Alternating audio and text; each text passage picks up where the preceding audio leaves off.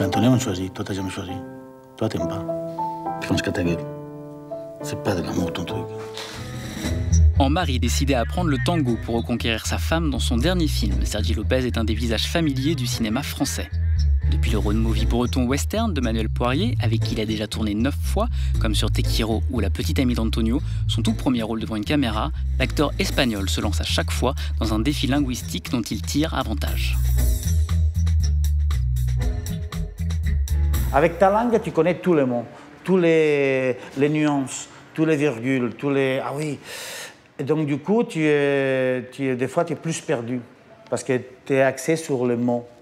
Alors qu'en français, dans une langue que tu ne maîtrises pas, quand tu dois dire euh, un texte que, tu ne tu sais pas, tu sais pas, tu dois tourner en, en russe et tu dois dire et tu sais pas, mais on te dit, ça veut dire, je n'ai marre de toi, il faut qu'on se sépare.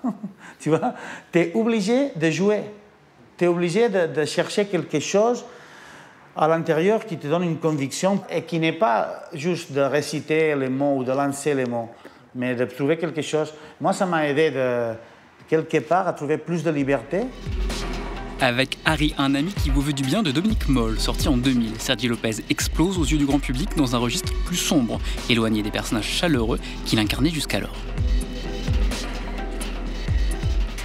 Quand Dominique m'a pris pour faire ça, en fait, il ne me proposait pas le rôle d'Harry, il me proposait l'autre, le rôle de Michel, le, enfin, le gentil, le, qui écrivait et tout ça.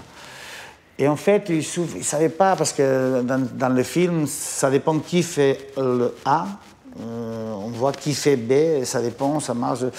Et un jour, il, il m'a dit, en fait, comme on n'arrive pas à voir qui peut jouer Harry à côté de toi, tout, tout, tout, et si toi tu joues Harry, et moi j'ai trouvé ça une super idée, parce que j'ai trouvé ça, Harry, justement, ça, ça serait d'autant plus dangereux si elle avait un regard ou un esprit rassurant.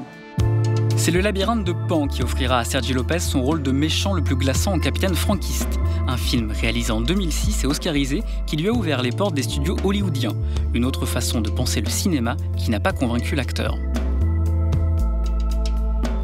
J'ai commencé à faire des films en France, donc euh, l'idée d'auteur, l'idée de quelqu'un qui est derrière, qui a besoin, envie de raconter une histoire. Moi, je suis très lié à cette idée. Donc euh, oui, il y a eu des gens qui ont vu le film, donc il y a eu des propositions, mais je sais pas, c'est un, peu étrange. C'est un autre système, une autre façon de fonctionner. Par exemple, on m'a proposé un scénario, euh, c'est pas encore fini, mais euh, le réalisateur, c'est qui? On ne sait pas, mais ça va être ou celui-là, ou celui-là, ou celui-là. Trois énormes. Dis, oui, mais euh, lequel? C'est un point de vue de faire les choses qui est plus fait du point de vue de la production. Qu'est-ce qu'il y a? On n'a pas le droit à l'intimité ici ou pas? Hein?